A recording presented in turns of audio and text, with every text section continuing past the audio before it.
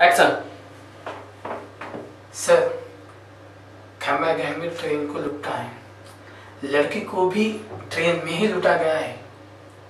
ये ट्रेन के लुटेरे सब आपस में मिले हुए होते हैं। हो सकता है खम्बा गैंग लड़की के लुटेरे एक ही हो।